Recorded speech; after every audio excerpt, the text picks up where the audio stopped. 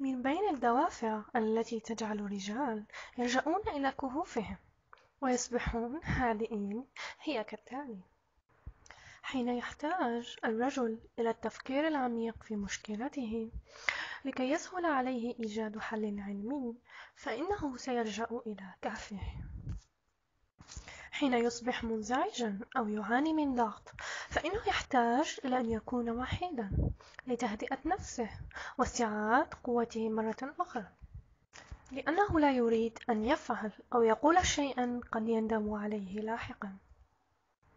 حين لا تكون لديه إجابة عن تساؤل أو مشكلة، فإنه يحتاج إلى أن يدخل إلى كهفه لإيجاد الإجابة. حين يحتاج الرجل إلى أن يستجمع نفسه ويستعيد نشاطه ويجد ذاته الودودة القوية مرة أخرى.